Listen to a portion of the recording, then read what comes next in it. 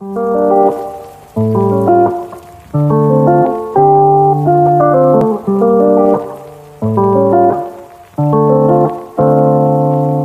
мы любим путешествовать, да только тянет почему-то за границу. Но ведь в России столько прекрасных мест, в которых можно отдохнуть и душой, и телом. В России продолжается программа туристического кэшбэка.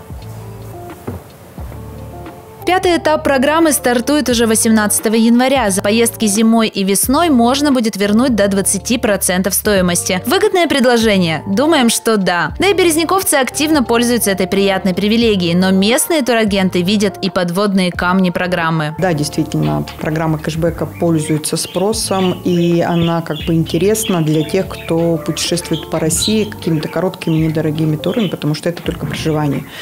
Но с подводными камнями тут еще еще все веселее. Те, кто отслеживает стоимость э, проживания, они могут увидеть, что у нас бывает. Поднимается стоимость, и потом на эти 20% им же возвращают.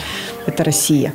А так, на самом деле, хорошая программа для поддержания российского туризма – для поддержания путешествий, но и кэшбэк именно для людей иногда бывает важен. Чаще всего жители нашего города выбирают для отдыха Сочи, Крым, Калининград и Санкт-Петербург, а также речные круизы и оздоровление в санаториях. Чтобы получить кэшбэк, нужно зарегистрировать свою карту МИР на сайте мирпутешествий.рф и ждать денег в течение пяти рабочих дней. Вернуть средства можно за пакеты туроператоров, транспорт и проживание в отелях от двух ночей, а также за поездки в железнодорожные горнолыжные и круизные туры и проживание на базах отдыха и оздоровительных комплексах. Путевки необходимо приобретать на сайтах партнеров, участвующих в программе. Напомним, пятый этап программы стартует уже с 18 января и будет действовать до 12 апреля. Ксения Калугина, Лев Соборов, Новости Верхнекамья.